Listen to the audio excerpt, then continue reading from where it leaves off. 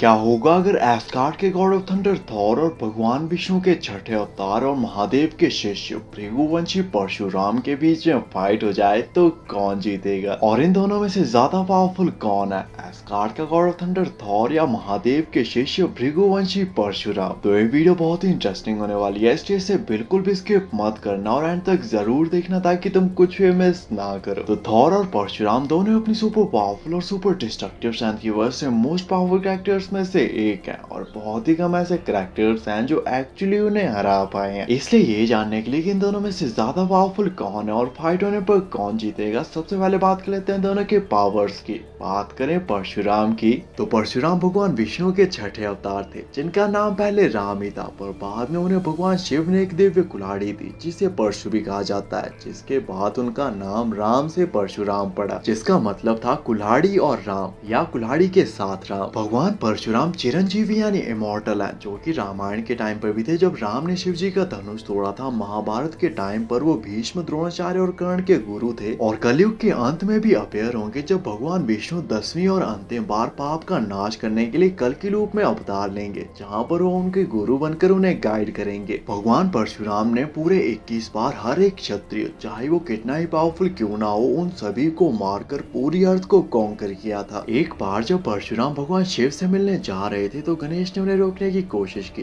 जिसके बाद परशुराम इतना ज़्यादा गुस्सा हो गए कि उन दोनों के बीच में युद्ध हो गया। और इस फाइट के दौरान परशुराम ने भगवान गणेश का एक दान तोड़ दिया, और इसी के बाद भगवान गणेश का नाम एक दंत पड़ा। भगवान परशुराम ने कठोर घोर तपस्या करके हर उस वेपन को हासिल कर लिया था जो त्रिदेव के पास थी, और इसी दौरान उन्हें एक कुलाड़ी यानी परशु भी मिला, जो की भगवान शिव का था। परशुराम भगवान शिव के शिष्य थे, और उन्होंने अपनी धनुर्विद्या और फाइटिंग टेक्निक महादेव से सीखी थी, और उन्होंने उन्होंने अपनी फाइटिंग स्किल्स और टेक्निक्स को टेस्ट करने के लिए स्वयं महादेव को युद्ध करने के लिए आमंत्रित किया, जो कि कई दिनों तक चला और उन्होंने एंड में भगवान शिव के माथे पर एक स्कार तक को क्रिएट कर दिया था, जिसे भगवान शिव ने अपने शिष्य के शौर्य के रूप में स्वीकार किया और इस कट का निशान आज भी महादेव के माथे पर है, जिसके बाद भगवान परशुराम ने महादेव की गुरु दक्षिणा के रूप में लाखों महाशक्तिशाली पापी असुरों को कुछ ही घंटों में मार डाला। भगवान परशुराम ने कार्तिवीर अर्जुन की नौ सेना को कुछ ही मिनटों और उसके सौ पुत्रों की सौ क्षौणी सेना को ही घंटों में मार कर उन्हें हरा दिया था। और सिर्फ़ एक एग्ज़ाम्पल के लिए मैं तुम्हें बता दूँ कि महाभारत के महाविनाशी युद्ध में कौरवों के पास सिर्फ़ ग्यारह क्षोणी और पांडवों के पास सिर्फ़ सात क्षोणी सेना थी। मतलब अगर उस फाइट में भगवान परशुराम भाग लेते तो ये युद्ध कई दिनों के बजाय कुछ ही घंटों या एक घंटे से भी कम टाइम में ही खत्म हो जाता। और महाभारत के महाप्रतापी और महाशक्तिशाली करेक्टर्स परशुराम के आगे दो मिनट भी नहीं टिक पाते, क्योंकि परशुराम उनके गुरु और उनके गुरुओं के भी गुरु थे, जो कि ब्राह्मण होने के बावजूद एशियंट हिस्ट्री के स्कैरियस्ट और सबसे खतरनाक योद्धा थे। भगवान परशुराम ने पूरे 21 बार पूरी धरती को क्षत्रिय मुक्त करके उसे जीता था और इसी वजह से जब वो सीता माता के स्वयंवर में भी गए थे तो सभी राजा सिर्फ़ उन्हें देख ही सहम गए थे। भगवान परशुराम मन की गति से चल सकते थे, उनके पास हर टाइप के अस्त्र शस्त्र भी थे और वो हर टाइप की फाइटिंग टेक्निक में एक्सपर्ट थे। भगवान परशुराम के पास परशु शिव धनुष त्रिशूल, सुदर्शन चक्र और ब्रह्मास्त्र जैसी वेपन्स भी थी, जो कि अपने तपोबल से पूरे यूनिवर्स को एक ही सेकंड में डिस्ट्रॉय कर सकते थे। तो थी परशुराम की पावर्स और परशुराम की पावर्स को अच्छे से जान लेने के बाद, अब बात लेते हैं थॉर की और जानने की कोशिश करते हैं कि आखिर थॉर कितना पावरफुल है। तो थॉर एक एस्कार्डियन गॉड है, जो कि ओडिन का बेटा और पूरे नॉरियाम्स का प्रोटेक्टर है। थॉर एक गॉड है, इसलिए उसके पास बहुत सारी गॉडली पावर्स भी हैं। बात करें कुछ बेसिक पावर्स की तो थॉर के पास godly stand speed stamina durability और फ्लाई जैसी भी पावर्स हैं। और गॉडली स्टैंड को तुम सुपरमैन स्टैंड से बिल्कुल भी कंपेयर मत करना, क्योंकि इन दोनों में बहुत ज़्यादा डिफरेंस है। थॉर के पास सुपर हीलिंग भी है, और उसकी एज बहुत ही स्लोली बढ़ती है। इसलिए वो पिछले हज़ारों सालों से ज़िंदा है, और अगले हज़ारों सालों तक भी ज़िंदा रहेगा। और एज के साथ उसकी पावर्स और भी बढ़ती जा रही हैं। थॉर गॉड ऑफ़ थंडर है, इसलिए उसकी पावर्स थंडर से रिलेटेड है, जिसमें वो वेदर को कंट्रोल कर सकता है लाइटिंग स्ट्राइक कर सकता है, और उसका यूज़ करके बहुत ही पावरफुल लाइटिंग अटैक्स भी कर सकता है। थॉर के पास यूनिवर्स के सबसे स्ट्रॉन्ग ओरू मेटल से बने हुए म्योनिर और स्टॉम ब्रेकर जैसी वेपन्स भी है, जो कि बहुत ही ज़्यादा पावरफुल है और इमोर्टल बींग्स तक को केल कर सकती हैं। थॉर बहुत ही ज़्यादा ड्यूरेबल है, और बड़े से बड़ा एनर्जी ब्लास्ट भी उसका कुछ नहीं बिगाड़ सकते, जो कि अपने स्टॉम ब्रेकर को बनाने के लिए न्यूट्रॉन स्टार की कॉन्सेंट्रेटेड एनर्जी बीम को भी सर्वाइव कर चुका है, और अपने स्टॉर्म ब्रेकर से इन्फिनिटी स्टोन्स की पावर्स को ब्रेक करके थैनोस का सीना चीर चुका है। द्वेदी थॉर की पावर्स और थॉर और परशुराम की पावर्स को अच्छे से जान लेने के बाद अब बात कर लेते हैं फाइट कंपैरिजन की और जानने की कोशिश करते हैं कि इन दोनों में से ज़्यादा पावरफुल कौन है और फाइट होने पर कौन जीतेगा। तो गॉड ऑफ़ थंडर थॉर बहुत ही पावरफुल करेक्टर है, जो की ओडिन का बेटा और पूरे नौरे आर्म्स का प्रोटेक्टर है, जबकि दूसरी तरफ़ परशुराम भगवान विष्णु के छठे अवतार और महादेव के शिष्य हैं, जिनके पास बहुत सारी दिव्य शक्तियाँ, अस्त्र और शास्त्र भी थे। थॉर अपनी फुल स्ट्रेंथ के साथ परशुराम पर अटैक करेगा, पर परशुराम बहुत ही ज़्यादा ड्यूरेबल थे, जो कि मन की गति से चल सकते थे और उनके पास बहुत सारी दिव्य शक्तियाँ भी थी। इसलिए वो थॉर के किसी भी सुपर पावरफुल अटैक को इजिली डॉज या सर्वाइव कर सकते हैं। थॉर के पास ओरो मेटल से बने हुए म्योनी और स्टॉर्म ब्रेकर जैसी वेपन्स हैं, जो कि इमोर्टल बींग्स तक को किल कर सकती हैं। जबकि दूसरी तरफ़ परशुराम के पास परशु शिव धनुष त्रिशूल सुदर्शन चक्र और ब्रह्मास्त्र जैसी वेपन्स हैं, जो कि अपने एक अटैक में किसी व्यक्ति के साथ साथ पूरे के पूरे प्लैनेट्स को डिस्ट्रॉय कर सकती थी। थॉर पावरफुल तो बहुत है, पर वो इमोर्टल नहीं है। और वो भी एक दिन मरेगा, जिस तरह से ओडिन मरे थे, जबकि दूसरी तरफ़ भगवान परशुराम चिरंजीवी हैं, जो कि संसार के अंत तक जीवित रहेंगे। थॉर बहुत ही पावरफुल कैरेक्टर है, पर भगवान परशुराम ने सिर्फ़ गुरु दक्षिणा के लिए लाखों महाशक्तिशाली असुरों को कुछ ही घंटों में मार डाला था, और पूरे इक्कीस बार सभी क्षत्रियों का वध करके पूरी दुनिया को जीत लिया था। In the end Thor powerful तो बहुत है, पर पावर्स के मामले में भगवान परशुराम थॉर से कई गुना ज़्यादा पावरफुल है। इसलिए थॉर ना ही परशुराम को मार सकता है, ना ही उन्हें हरा सकता है, जबकि भगवान परशुराम थॉर को मार भी सकते हैं और उसे हरा भी सकते हैं। इसलिए परशुराम इस फाइट के एक अल्टीमेट विनर होंगे और फाइट में चाहे जो भी हो इन दी एंड जीतेंगे भगवान परशुराम ही। बाकी आपके हिसाब से इस फाइट का और क्या पॉसिबिलिटीज हो सकती है? और नेक्स्ट वीडियो किस टॉपिक को बनानी चाहिए? कमेंट करके ज़रूर बताना। ऐसे अमेजिंग वीडियोस के लिए चैनल को सब्सक्राइब कर देना एंड थैंक्स फॉर वॉचिंग